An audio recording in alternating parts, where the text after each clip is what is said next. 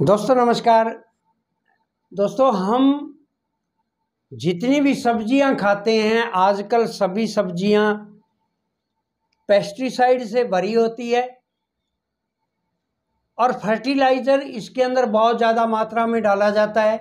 और यहाँ तक कि कुछ लोग ऐसे होते हैं, इनमें इंजेक्शन लगाते हैं। इंजेक्शन लगाने से जो शाम को इतनी सी चीज़ होती है, वो बहुत लंबी बढ़ जाती है, जैसे ककड़ी में लगाते हैं, कद्दू में लगाते हैं, ये इंजेक्शन लगाते हैं बहुत सी चीज़ों में, उससे फल भी बहुत ज़्यादा मिलेंगे इनको और रात रात में बहुत बड़े बड़े फल हो जाते हैं।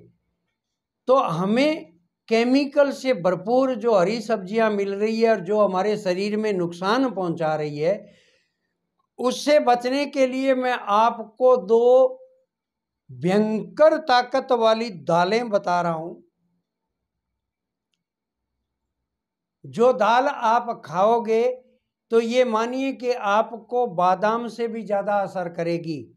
और आप इस केमिकल भरी सब्जियों से दूर रहोगे तो आपको बहुत ज़्यादा फ़ायदा होगा। आप बीमारियों से बचे जाओगे। तो आपको मैं दो दालें बता रहा हूँ। इससे पहले कि जो नए आदमी आप मेरे चैनल को देख रहे हैं, मैं रिक्वेस्ट करूँगा कि आप मेरे चैनल को सब्सक्राइब ले, कर लें भैया, और उसके बाद में पास में बेल आइकन है, उसको भी दबा दें। तो दोस्तों, आपको पहली दाल बता रहा हूँ, वो है कुल्थी की दाल। आप बाज़ार में जाइए, आपको मैसूर की दाल की तरह ही मिलेगी कुल्थी की दाल। आप बाज़ार से मांग लीजिएगा बहुत भयंकर ताकत होती है इसको। और इसका इंग्लिश में नाम है हॉर्स ग्राम हॉर्स का मतलब घोड़ा। ग्राम का मतलब चना। घोड़े को जितना असर चना करता है, उतना ही असर आदमी के लिए ये दाल करती है। ये दाल घोड़े को भी खिलाई जाती है। घोड़ा कितना फुर्तीला होता है। और हम किसी भी शक्ति को मापते हैं तो हमें हॉर्स पावर की तरह हॉर्स पावर में ही मापनी पड़ती है। तो उस घोड़े की ताकत की तरह हमें ताकत देगी।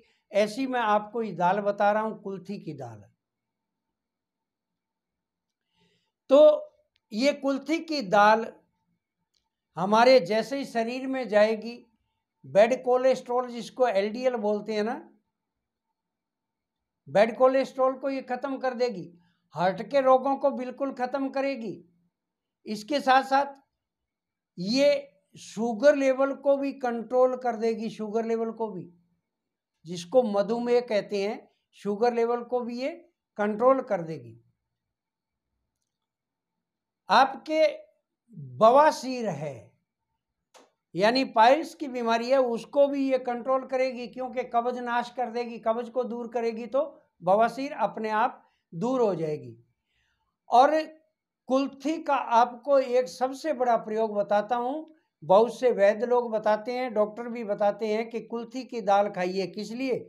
गुर्दे के अंदर आपके अगर सात आठ एम एम की भी पथरी है, आप कुल्थी की दाल कुछ दिन खाइए, चुटकियों में आपकी पथरी गायब हो जाएगी।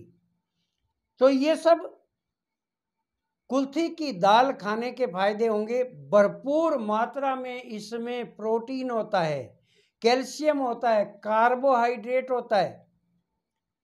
बहुत से अन्य इसके अंदर ताकत वाली चीज़ें होती है और जोड़ों के, इसीलिए ये जोड़ों के दर्द में भी राम बाण होती है। जोड़ों के दर्द को भी ये भगाती है, गठिया को दूर करती है। तो ये दाल आपको खाना है।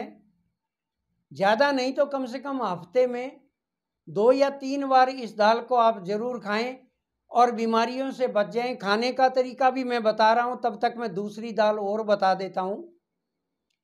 दूसरी जो दाल है, वो दाल है हरे मूंग की दाल। ये मार्केट में दो प्रकार की मिलती है।